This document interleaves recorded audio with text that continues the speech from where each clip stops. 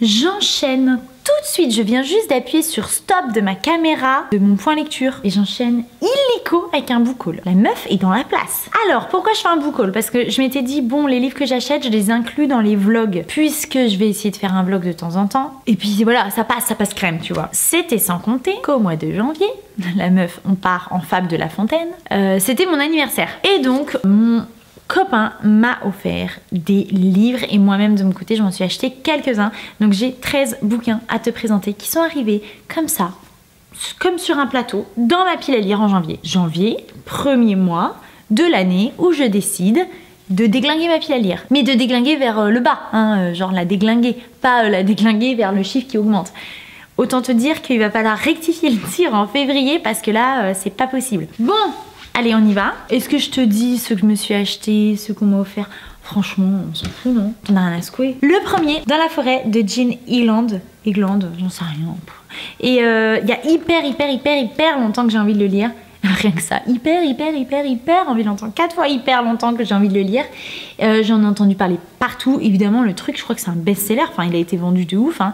On suit deux filles, j'allais dire deux sœurs, mais en fait, c'est pas dit dans le résumé. Alors, est-ce que c'est moi qui ai projeté un truc? Peut-être. On suit Nell et Eva qui ont 17 et 18 ans et qui vivent depuis toujours dans la maison familiale. Ah bah si, c'est ça. Donc je pense que c'est des sœurs. La civilisation s'effondre, les parents disparaissent, elles sont seules, elles doivent survivre, gna gna gna gna gna. Les deux meufs solo dans la forêt. J'ai trop envie de le lire. En plus, il est trop beau. J'adore cette collection. Évidemment, qui n'aime pas la collection Totem Dénoncez-vous Ensuite, bon ben, Des diables et des saints. Jean-Baptiste Andrea. Tant qu'on est à lever la main. Qui n'a jamais entendu parler de ce livre? Personne. Évidemment, puisque euh, j'ai l'impression on le voit partout. Mais je dis ça parce que les deux personnes que je suis le plus, je crois, sur euh, YouTube et Insta et tout ça, c'est Isa des Chroniques d'Hérisson et Flo de Flo Books. Et elles en ont parlé de ouf parce qu'elles ont eu un coup de cœur toutes les deux pour ce bouquin. Donc forcément, je ne pouvais pas ne pas l'avoir. Il a atterri dans ma wishlist. Bim, je l'ai eu à, mon anniversaire. Je ne sais pas quand je vais le lire, mais ça ne va pas tarder, je pense. C'est terrible parce que j'en ai entendu parler plein de fois. Je n'ai rien retenu de l'histoire. Je ne sais pas ce que c'est. Mais je sais que c'est a priori super génial. J'avais quand même eu une petite hésitation parce que de lui, j'ai lu Marraine. Et j'avais pas trop trop aimé. Mais, euh, mais je fais confiance à Isa et Florence, donc euh, je me lance. Tant qu'on est dans les influences, hein, restons sur Flo qui a parlé de la Maison des Voix de Donato Carissi. Alors ça c'est une surprise. Tu t'attendais pas à voir ça dans mon book haul. Eh ben non, parce que parce que quoi? Ben parce que je ne lis jamais ce genre de lecture. Mais gna gna, je vais essayer thriller nan Et puis en plus, Flo elle a dit que c'était pas glauque. Parce que moi quand je vois euh, Donato Carissi, je me dis mon dieu, c'est mort. Ça va être dégueulasse, ça va être trop. D'ailleurs, j'ai euh, le truc hyper connu là dans ma pile à lire avec les comment s'appelle Avec l'image là de la poupée sur la couverture. Bon bref, je sais pas, peu importe. Eh ben, euh, je ne le lirai jamais. Il est dans ma pile à lire, mais soyons clairs, je ne le lirai jamais. Et elle a dit non non vraiment celui-ci c'est pas le même mood. Euh, si t'aimes pas ce qui est dégueu, tu peux y aller. Enfin, elle me l'a pas dit à moi, elle l'a dit dans un live. Mais peu importe, bref, je l'ai. Et euh, bah, j'ai trop hâte du coup de découvrir, même si j'ai un peu d'appréhension. Ah, j'ai l'impression qu'il y a vachement de dialogue. Donc ça peut aller méga vite. Ah ouais, il y a vachement de dialogue. La maison des voix. Et je crois que c'est un truc genre d'hypnose. Florence. Ah bah c'est rigolo, c'est Florence le... Bon bref, hyper rigolo. Enfin je l'ai acheté à cause de Florence et c'est Florence.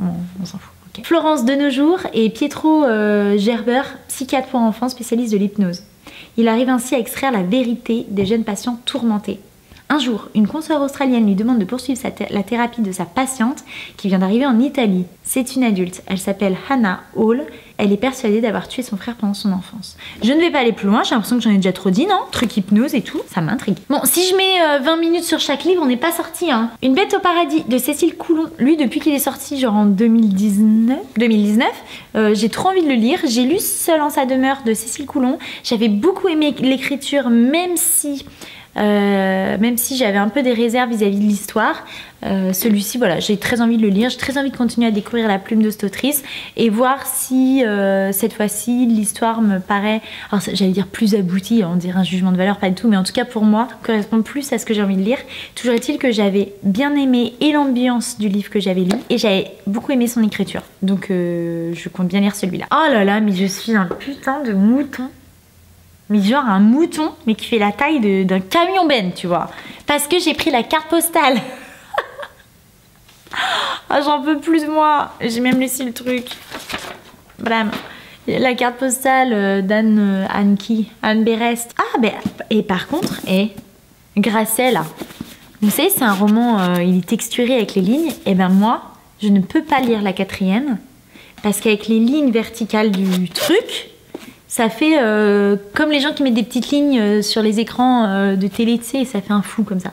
Donc ça, ça, me défonce les yeux. C'est un livre qui parle de la déportation. je sais pas si c'est autobiographique ou pas, mais en tout cas, la narratrice remonte le fil de son histoire familiale et, euh, surtout dans toute cette période-là euh, des années 40. Ah oui, je me suis trouvé ça. Je me suis trouvé euh, Seul le grenadier de Sinan Anton et celui-là, je l'avais vu passer sur la chaîne, enfin sur l'Instagram de Justine, de Justine Shell. Je sais plus si elle l'avait lu, il me semble pas. Je crois qu'elle le proposait pour une lecture commune. Enfin bon, bref. Et c'est un auteur irakien et je me rappelle l'avoir noté dans un coin de ma tête en disant non seulement que ça agrandirait ma carte de, sur Livradix et que euh, le livre m'intéressait. Je l'ai trouvé d'occasion et je vois que c'est prix de la littérature arabe 2017. Je l'ai trouvé d'occasion euh, pas plus tard que ce matin. Voilà, tu sais tout. Et je n'ai même pas relu le résumé. Juste, je m'étais tellement dit que je voulais le lire que je l'ai pris direct. Et donc on suit Jawad, qui est le fils cadet d'une famille chiite de Bagdad. Son père le prépare à exercer la même profession rituelle que lui, qui consiste à laver et préparer les morts avant leur enterrement. Mais Jawad s'y refuse car il rêve de devenir sculpteur. Après ses études d'art plastique à la fin des années 80, au moment où Saddam Hussein est au fait de sa puissance, il se retrouve peintre en bâtiment. Et après, ben, oh, j'ose pas trop lire, mais a priori ça saute dans les années 2003. Donc euh, ben, je suis bien heureuse de lire un de livre non de lire mais oui de lire c'était bon enfin bon quoi comment on peut hésiter? De lire un livre sur ce sujet écrit évidemment un Irakien. J'ai pris aussi Les danseurs de l'aube de Marie Charelle. J'avais vu passer ce bouquin euh, il y a un petit bout de temps et euh, là on est dans les années 30. C'est l'histoire de jumeaux danseurs qui sont séparés pendant la révolution russe. La sœur disparaît et genre je crois qu'il y a une histoire de... Pour venger sa sœur tant aimée, Sylvain ira jusqu'à se glisser dans la peau d'une femme et c'est ainsi travesti qu'il s'engage dans la résistance pour lutter contre les nazis. Donc euh, franchement que dire, mis à part euh, j'ai Je me suis trouvée Anne de Green Gables et franchement, mais alors coup de bol parce que ce truc là, euh, je le trouve nulle part. Et l'autre jour, je vais à la Fnac et il est là. À mon avis, il a été ramené par quelqu'un parce qu'il était plus sous blister. Et tu sais, ils se vendent sous blister ceux-là. Donc, à mon avis, je suis arrivée pile poil au bon moment. Donc, je l'ai pris. J'en ai profité pour prendre le tome 3 parce que j'avais déjà le tome 2. Tout ça n'a aucun sens. Et alors, qu'est-ce que tu vas faire Donc j'ai donc le 1, 2, 3 dans ma pile à lire et je commence dès le mois prochain. Je te résume pas, hein, franchement, il y a un moment. Euh, le Puits des Mémoires de Gabriel Katz en grand format, oui, je sais, hein, ils sont sortis en poche euh, les trois depuis Belle Lurette.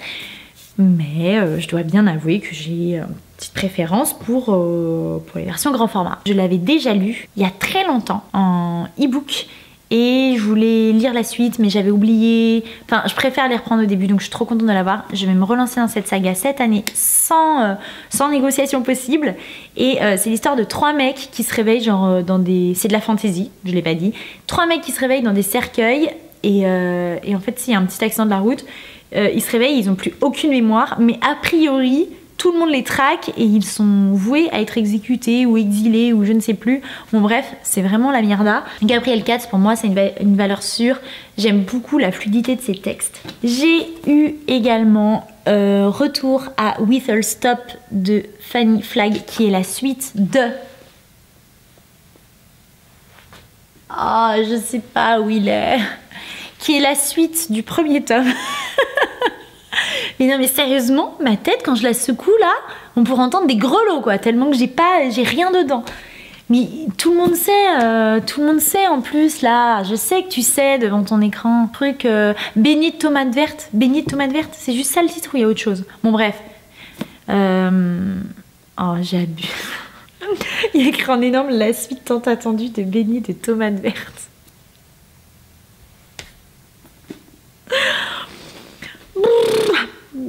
Euh, donc du coup, c'est écrit là aussi. ça fait 10 minutes que je suis là, je sais plus comment ça s'appelle le premier tome. Oh non, la honte. Euh, du coup, j'avais adoré, surkiffé ce premier tome qui était tout cocooning. On était euh, en Alabama, c'est ça, oui, dans un café où il y a une famille qui sont là pour les plus euh, nécessiteux, ceux qui sont euh, victimes de ségrégation, ceux qui sont euh, sans, argent, tous les vagabonds du coin. Et c'est un lieu d'amour de, et de chaleur. Et franchement, j'avais adoré ce, ce, mélange de douceur avec des thèmes aussi lourds. Et c'était vraiment mais parfait, parfait comme lecture. Donc j'ai trop hâte de lire la suite. Même si il paraît que c'est un peu en dessous. Mais franchement, rien que pour me retrouver à nouveau dans ce café, moi je signe. Et les deux derniers, j'ai trouvé en boîte à livres Debout les morts de Fred Vargas. Euh, je crois que c'est toujours dans la saga Adamsberg et je suis même pas sûre. Bref, je lis la saga Adamsberg de Fred Vargas, j'ai lu les deux premiers. J'ai même pas regardé où c'était situé dans la saga ou si c'était faisait bien partie de la même saga, mais il me semble. Du coup, je continue ma petite aventure euh, avec Fred Vargas, je sais pas quoi te dire. Et enfin, encore une suite de, de sagas. Donc tout ça m'arrange pour mon objectif de continuer des sagas. Je te rappelle qu'il faut que j'en continue ou finisse 5. Euh, Meurtre et Charlotte fraises, qui est la suite de Meurtre et Pépites de chocolat. Et, euh, j'avais plutôt apprécié le premier tome. J'avais pas trouvé ça fou, c'était mon premier Cozy Mystery. Euh, je crois pas être revenue dessus.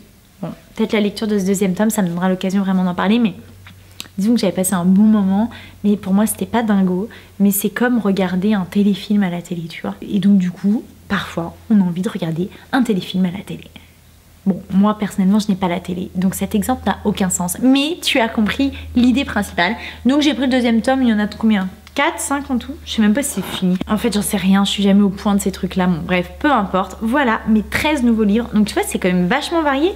Euh, il y a du polar, il y a du contemporain, il y a du cozy mystery, euh, enfin il y a de la fantasy, c'est hyper varié. Je suis hyper contente. Il y a quand même pas mal, entre guillemets, de nouveautés par rapport à ce que je lis d'habitude. Moi, je lis toujours les trucs 15 ans après tout le monde.